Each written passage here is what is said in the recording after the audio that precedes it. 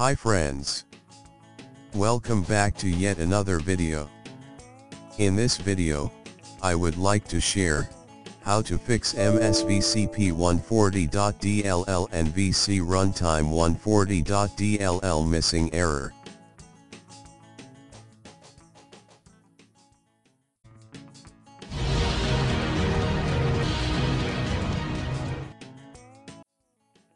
In order to fix this error, open this website. Click on, Download.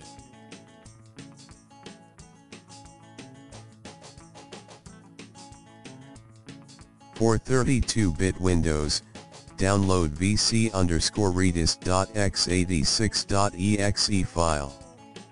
For 64-bit Windows, download vc underscore redist.x64.exe file.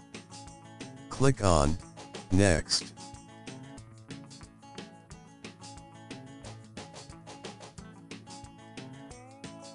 After downloading has been completed, go to the location where exe file has been downloaded.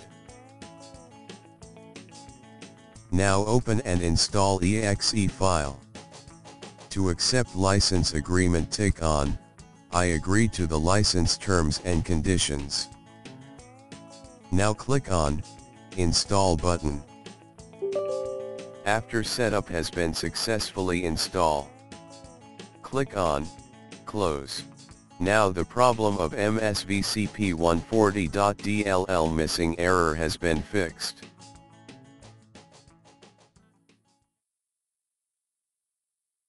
Please subscribe, share, and like this video.